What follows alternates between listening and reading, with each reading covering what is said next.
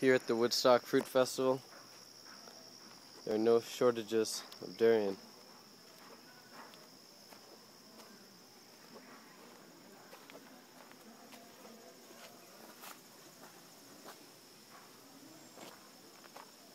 There are over a thousand durians ordered for delivery. And most of them have been eaten.